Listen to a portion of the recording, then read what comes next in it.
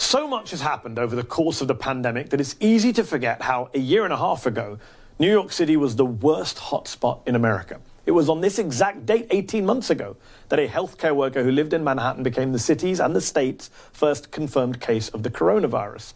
The city and its surrounding suburbs, over 20 million people, had far more cases than many countries had at the time, and certainly more than the rest of the nation. This is what the US looked like on April the 15th of last year, with New York State outpacing the rest of the country, most of those cases in the city of New York. Now look at how the situation has evolved across the US since then in this interactive map from our friends at PBS NewsHour. As cases of the coronavirus have exploded among the unvaccinated, particularly in the South. But turning back the clock in New York City at the start of the pandemic, refrigeration trucks would be brought in to serve as makeshift morgues. A charitable organization would build a field hospital in Central Park among the dog walkers and not far from where kids would still play to handle its overflow of patients from Mount Sinai Hospital across Fifth Avenue. The military would convert the city's massive convention center into another field hospital. The Navy would send its hospital ship to dock in the Hudson River. And every night at 7 p.m., this is what New York City would sound like.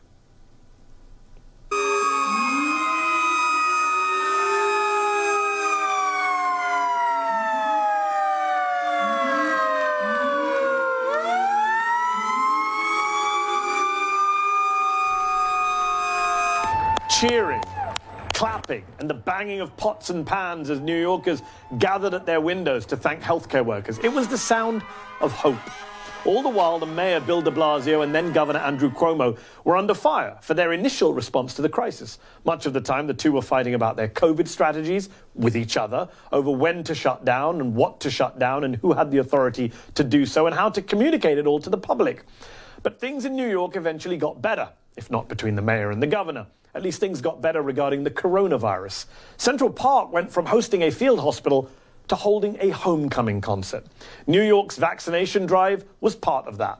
And yet, with the Delta variant and school starting and colder weather just around the corner, there are questions about whether it will be enough. Joining us now to talk about all of this is the mayor of New York City, then and now, Bill de Blasio. Mr. Mayor, thanks so much for joining me on the show tonight. You've done a lot recently to get New Yorkers vaccinated. Educators have to be vaccinated, healthcare workers, city employees, they have to be vaccinated or tested weekly. There are new vaccine mandates for restaurants, other public venues. I welcome all of that. I wish Republican governors in the South were doing what you're doing. But I wonder, do you have more planned on the vaccination front, given the scale of the challenge? What else can you do to get numbers up? Well, Mehdi, I have to tell you, we've had a vision of fighting back aggressively with mandates, with incentives as well, including uh, the $100 incentive for anyone who comes in new to get vaccinated. Yes. something uh, President Biden bought into right away and encouraged folks to do all over the country. That's been really helpful. So uh, I keep saying we're climbing a ladder uh, of both incentives and mandates to find more and more ways to reach people, and it's having a huge impact. The vaccination numbers are going up markedly. And Mehdi, they're particularly going up amongst uh, black and Latino New Yorkers. And we are literally at this point willing to go to people's homes. We will send vaccinators to your homes to be able to give you in-person vaccination for your whole family, and each family member gets a $100 incentive who's eligible to be vaccinated. I mean, this is a very hands-on grassroots effort. It's making a huge impact, and people are really copying a lot of the things we're doing here. There's a, a powerful poll uh, that The Hill just came out with, almost 1,000 employers, uh, making clear that about half of them already are putting vaccine mandates of different kinds in place. When the nation's largest city moves, it helps yes. public and private sector move around the country. That was part of what we hoped to do, and we're really seeing the impact now.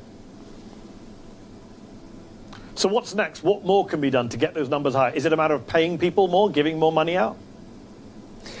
I think we're going to look at a range of options, including, of course, the potential for additional mandates. We, we have a sense, I certainly believe in sequencing. Right now, the focus is on bringing school back. It's just a couple of weeks away. That's a very strong mandate. We're going to make sure that works. Uh, but we're looking at a variety of other options.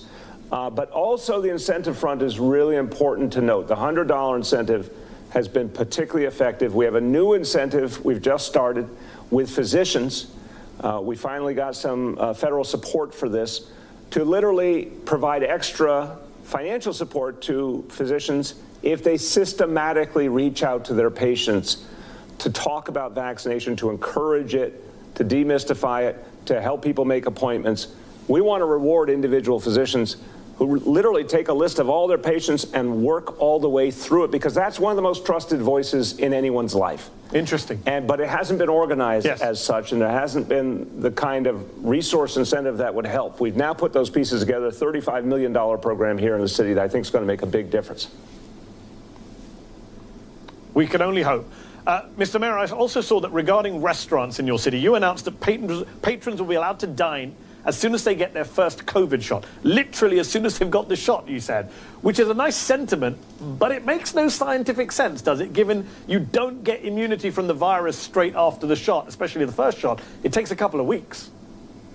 It makes strategic sense, and this is why our healthcare leaders have really bought into this idea because it's an incentive to get more people vaccinated. Look, Mehdi, the whole idea was vaccination. You can talk about any other tools, any other pieces of the equation, but what we decided here, having been the epicenter, as you powerfully laid out earlier, we decided there's one strategy. It's vaccination, getting to the most pervasive level of vaccination possible. Now, I'm happy to tell you 77 percent of adults in New York City right now have gotten at least one dose.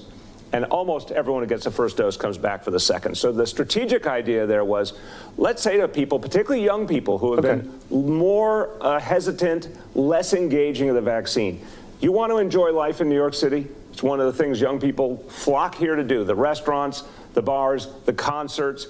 You want all that? You have to be vaccinated. But we're not telling you you have to wait uh, a month or six weeks. We're trying to get people to just get started immediately. Even the first dose infers some protection. We know that scientifically. But this is strategic. Well, this it, is about convincing the maximum number of people It doesn't confer protection immediately, though. It doesn't confer Look, protection immediately, but I take your point about protection. incentives. Right. You, it confers protection, okay. but our point Let, is a strategic one. If someone gets vaccinated for the first time, understood. they are on the pathway to getting vaccinated totally. Yes. And, that, and there's you plenty of other health and point. safety measures on top of that, let's be clear, including in our restaurants. But the key is get people vaccinated. You've got to get them started. Agreed. Mr. Mayor, you've earned plaudits for your leadership on COVID, on vaccinations this year. As you said, you've led the way on some of the mandate policies. But looking back on that awful period in New York's history, the start of the pandemic, the spring of 2020. Your critics, as you know, say you mishandled the situation. You didn't take the pandemic seriously enough early enough. I want to play a bit of sound and get your reaction on the other side. Have a listen. Look, we're also telling people to not avoid restaurants, not avoid, um, you know, the normal uh, things they would do. Uh, this does not transmit through food or drink. So people should go out and continue to live life, should go out to restaurants. In hindsight, saying carry on with life as normal on March the 11th, that was the day the WHO officially declared a pandemic, that was a mistake. We can all agree right now, can't we? Well, based on what we know now, of course, but that's not the point. The point is we, the information we had at the time. At the time, we had evidence of a small number of cases. We did not know until much later how pervasive the disease already had become, even in February. And I was listening, of course, to my health leadership, and the goal was to not say to people uh, that we had reached a point for shutting down our society, but trying to strike a balance, trying to address the cases we had and get people to do the precautions that our health team were important, thought were important at the time. Unfortunately, within a few days, it became clear we were in a whole different situation. And that's when I started calling for shelter in place.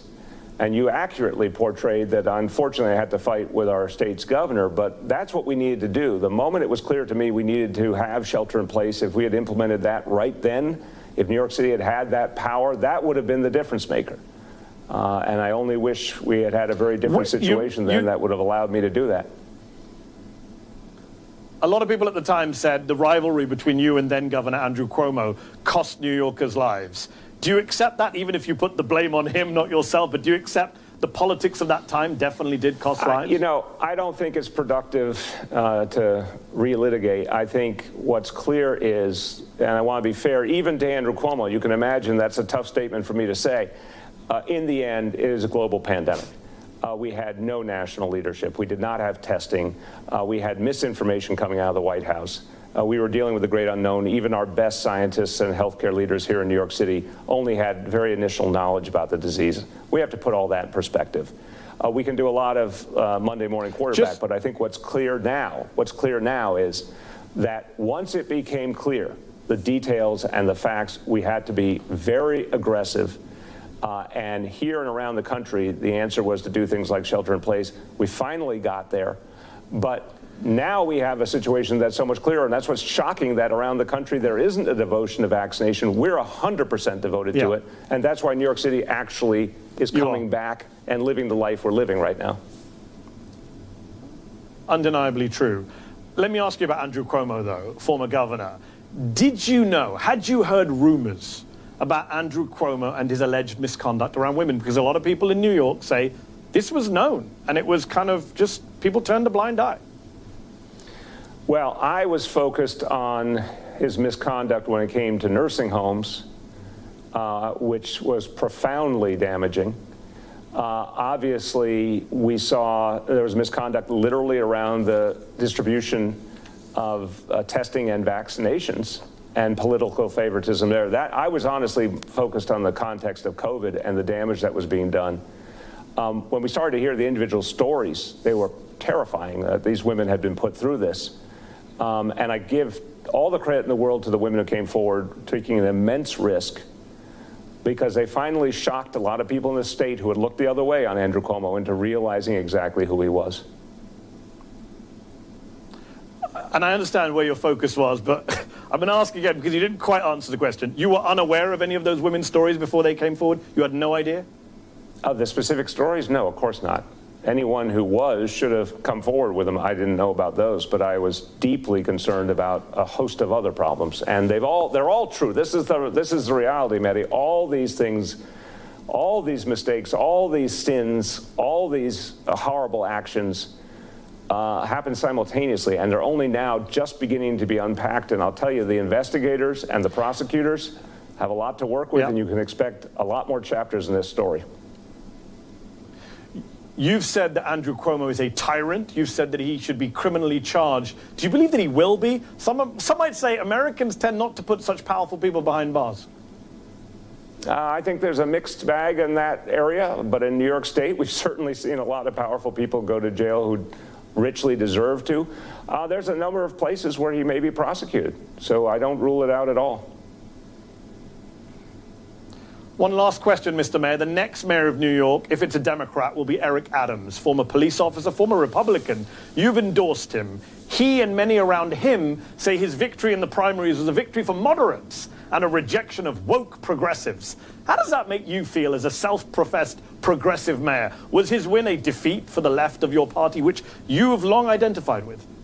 Yeah, I don't accept the analysis. Uh, Eric Adams was a profound activist fighting against uh, improper police practices from within the police department, um, uh, doing extraordinary work on civil rights uh, decades ago. Uh, he is a working class guy from Brooklyn who represents the interests of working people. Uh, I've worked with him very closely on a lot of the most progressive initiatives of this administration. I, I don't accept that simplification. I think you're going to see a continuity with a lot of the progressive policies that we created over the last eight years. I hope you're right. Although some of that analysis comes from him and people around him, not from me. But Mayor Bill de Blasio, I appreciate you taking time out and taking my questions. Thank you. Thank you.